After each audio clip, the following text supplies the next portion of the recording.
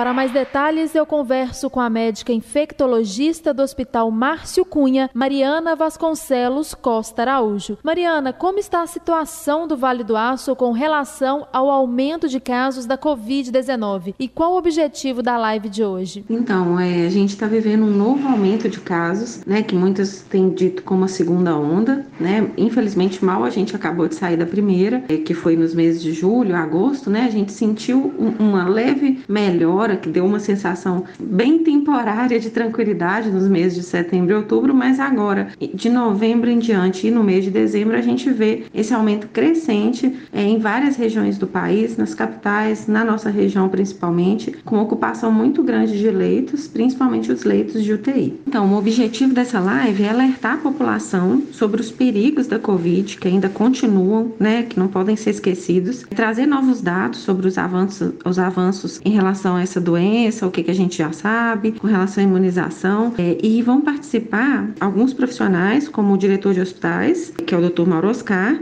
o superintendente, que é o Dr. Bruno, a gerente de assistência, que é a doutora Esmeralda, a responsável técnica pelo Hospital e Maternidade Vital Brasil, que é a doutora Alessandra, e eu também participarei. É, então, esses temas serão discutidos, serão abordados outros temas também. E como a população pode contribuir para que a doença não avance ainda mais na nossa região? Então, a população precisa retomar os cuidados. A gente imagina que por causa de toda essa evolução, talvez tenha se perdido, né, ou diminuído a importância das questões de medida de proteção individual e coletiva, que seriam reduzir as aglomerações, evitar o contato próximo, mantendo medidas de distanciamento social, o uso da proteção, que é a máscara cobrindo nariz e boca, o uso do álcool gel ou água e sabão sempre que a gente tocar alguma superfície, é, tocar algum lugar que pode ter risco, evitando também encostar em nariz, boca. Então, essas medidas que foram tão faladas no início, elas continuam sendo válidas e, infelizmente, até o momento são as únicas que a gente tem de recurso para evitar a propagação de casos e esse avanço da doença. E nessa chamada segunda onda da Covid-19, tem algum perfil de paciente que pode ser mais propício a contrair a doença? O perfil de pacientes de risco continua sendo os pacientes idosos, os pacientes que têm problemas de saúde, né, seja diabetes, hipertensão mal controlada controlada, entre outros. Os pacientes que têm problemas de imunidade, eles continuam sendo chamados grupos de risco, mas a doença é extremamente imprevisível e a gente tem visto tanto o acometimento nesses grupos em idosos, quanto o acometimento em pacientes mais novos, abaixo de 50, mesmo abaixo de 40 anos, com internação e com evolução tão grave quanto os primeiros que a gente citou. E como as pessoas podem prestigiar a live que acontecerá hoje à noite? Convidamos então a todos para participar da live Coronavírus, o perigo ainda real, promovido pela Fundação São Francisco Xavier, hoje, dia 15, às 19 horas, pelo Instagram, Facebook ou YouTube da Fundação São Francisco Xavier. Ouvimos a médica infectologista do Hospital Márcio Cunha, Mariana Vasconcelos, repórter